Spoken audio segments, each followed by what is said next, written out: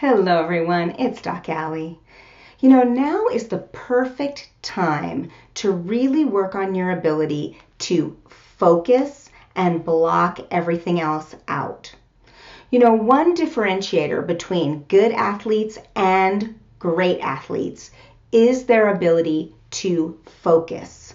Great athletes get into a zone, and when they are in that zone, they don't really notice or see or feel anything else. They totally have one point focus. So let's practice. We're going to do a drill that I call candle focus. You need to get a candle and a lighter and make sure you have your parents' permission to light your candle and sit it in front of you.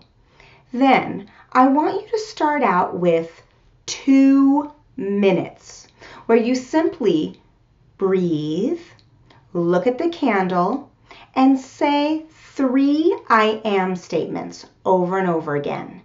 On your inhale, you'll say I am. On your exhale, you'll say a quality or characteristic that you'd like to have in the gym. It might be confident. Maybe breath number two is I am strong. I am relaxed. And say those statements over and over again for two minutes.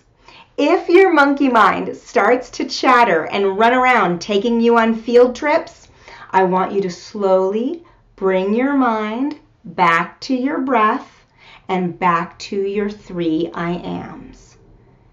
This week, start with two minutes then four minutes, and then six minutes.